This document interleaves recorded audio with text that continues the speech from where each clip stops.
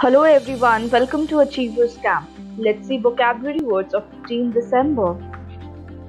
So, words जो हम लोग आज डिस्कस करने वाले हैं शंट टॉपिड एंड इलेट बहुत कॉमन वर्ड्स है मतलब पता भी हो सकता है बहुत बच्चों को शंट जो है वो अजेक्टिव है जिसका मतलब होता है परसिस्टेंटली अवॉइडेड इग्नोर और रिजेक्टेड ऐसी कोई चीज़ जिसको आप त्याग कर दिए। जिसको आप, जिसका आप त्याग कर दिए हैं, आप उसको अब नहीं यूज़ करना चाहते तो आप उसको शंड कहलाते हो। उसको आप शंड से डिनोट करते हो राइट सेंटेंस देखते हैं। From that time forward everybody shunned him उस टाइम के बाद, उस टाइम के बाद हर कोई उसको, हर कोई उसका त्याग कर दिया, हर कोई रिजेक्टेड हिम हर एवरी पर्सन इग्नोर्ड हिम ठीक है दैट इज़ वर्ड इज़ शन तो ऐसी कोई चीज़ जो बैन हो गई है रिजेक्ट हो गई।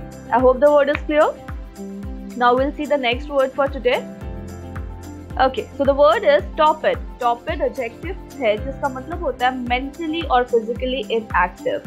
ऐसा इंसान जो सुस्त पड़ा है लेथार्जी है तो आप उसको टॉपिड कहते हो मेंटली uh, और फिजिकली दोनों तरीके से इनएक्टिव है और सुस्ती छाई हुई है तो that is what is torpid sentence देखते हैं even when he was awake he was completely torpid उठने के बाद जब वो जगा हुआ रहता है तब भी वो कम्प्लीटली मेंटली फिजिकली इनएक्टिव रहता है, सुस्त पड़ा होता है। Right so I hope the word is clear to everyone picture देख लो पिक्चर से और क्लियर हो जाएगी। Okay now will see the last word for today so the last word is obviously elate पहले बता दिया था।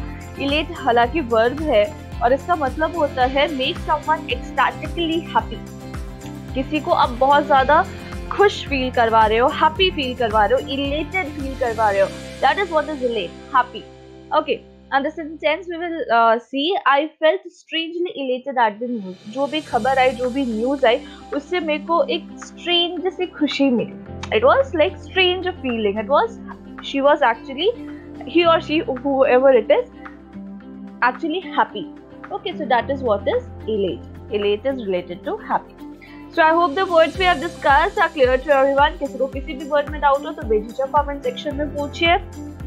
ना समझ में आए टेलीग्राम ग्रुप ज्वाइन करिए, वहाँ पे डिस्कस करिए।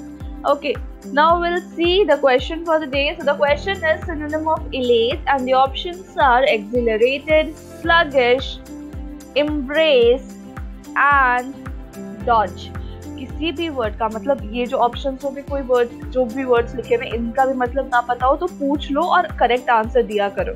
Okay and for more such videos like and subscribe to our channel thank you so much bye take care